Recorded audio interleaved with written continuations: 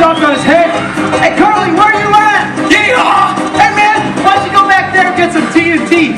We're gonna make sure the Colonel's show ends with a bang.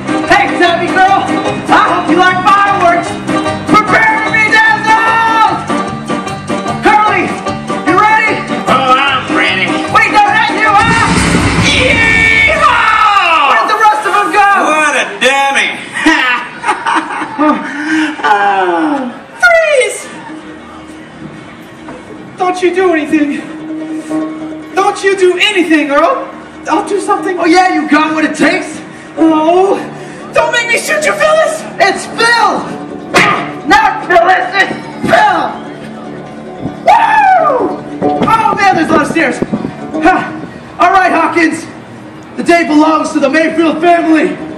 I got you right in my sights, right between the eyes, and everyone will know that Phil Mayfield, see, no, took out the mighty Colonel Hawkins. You know, for someone who didn't come to talk, you sure are flapping your gums. Well, you might be right, but I got the pistol. Say goodnight, Squawkins. What? How'd you do that? That must take a lot of skillet. Wait, what? Oh, it's Phil. Oh, forget it.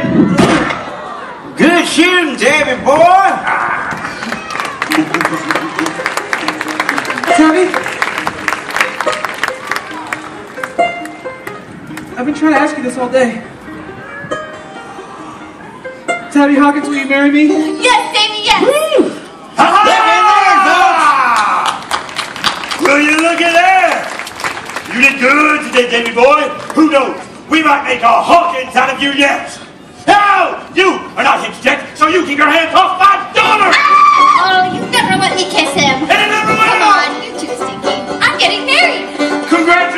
Congratulations.